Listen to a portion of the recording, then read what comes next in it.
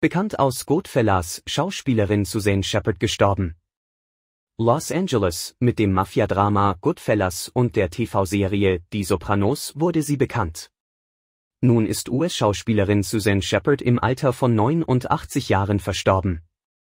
Wie die Enkelin der US-Amerikanerin gegenüber der Sun bestätigte, schlief Shepard friedlich in ihrem Zuhause ein. Eine genaue Todesursache wurde jedoch nicht genannt.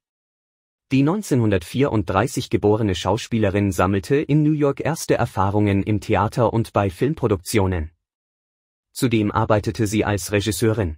Ende der 80er und Anfang der 90er Jahre wurde Shepard mit Filmen wie Goodfellas, Die Waffen der Frauen und Jacob's Ladder einem größeren Publikum bekannt. In Die Sopranos kam sie auf 20 Folgen. Auch in den Filmen Allein mit Onkel Buck, Pizza, Pizza und Lolita war die Schauspielerin zu sehen. Shepard verkörperte häufig Mafia-Matriarchinnen und galt auch als gute Besetzung für starke Mütter- und Tantenrollen. Schauspieler Tom Tritone äußerte auf Facebook seine Trauer und Anteilnahme.